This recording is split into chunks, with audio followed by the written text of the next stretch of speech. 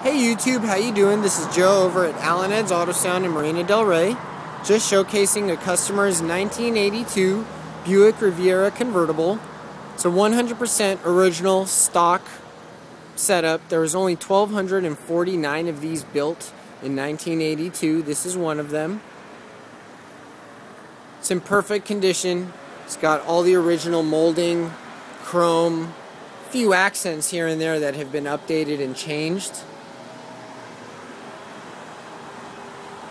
But overall, I just wanted to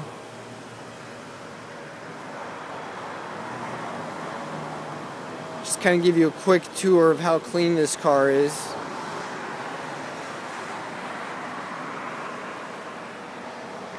Still have the stock 8-track working in the dash.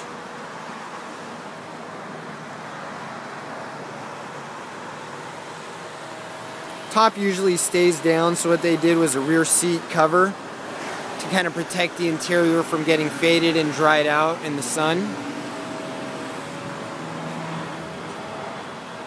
Once again, this is Joe over at Al and Ed's Auto Sound with a really good looking 1982 Buick Riviera. We have a few neat ideas for audio in this car. Feel free to call us 310 827 8121. We're out here in Marina Del Rey. Thanks, YouTube.